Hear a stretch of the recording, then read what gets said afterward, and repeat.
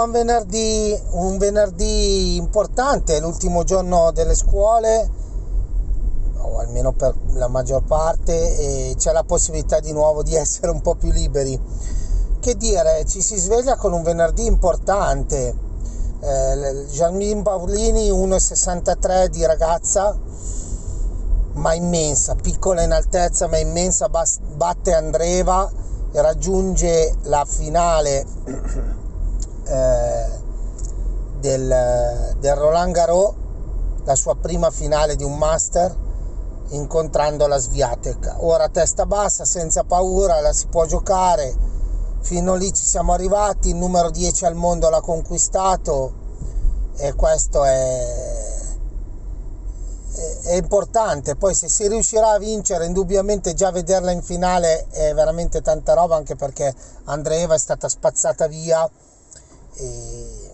incontrare la, la Sviatek sicuramente è uno stimolo in più per giocare una finale al massimo per questo scricciolo di 1,63 ma immensa quando è nel campo.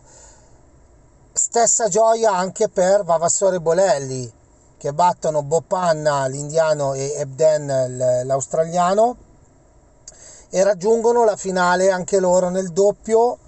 Eh, questa è una, è, una, è una gioia immensa per quello che stanno facendo, ma è una soddisfazione anche perché poi sappiamo di avere in Coppa Davis un doppio di assoluta qualità. Quindi abbiamo già la Paolini in finale, eh, abbiamo Vavassori e Bolelli nel doppio maschile in finale, oggi ci sarà Sinner contro Alcaraz e poi il doppio femminile Paolini e Rani sarebbe fantastico avere tutti e quattro in finale, ma vediamo un attimino anche la reazione di Sinner al raggiungimento del primo posto e vediamo se Paolini con l'entusiasmo riuscirà a aiutare Sara Errani a raggiungere la finale di doppio femminile.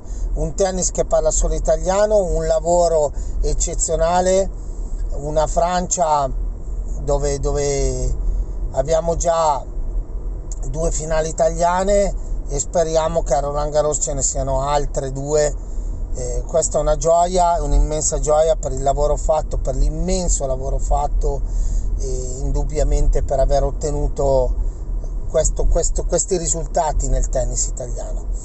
Vi ringrazio sempre, vi saluto, vi invito a cliccare in basso a destra iscrizione gratuita, potrai dire liberamente la tua sullo sport. E un saluto a tutti, un abbraccio e ci vediamo presto. Ciao!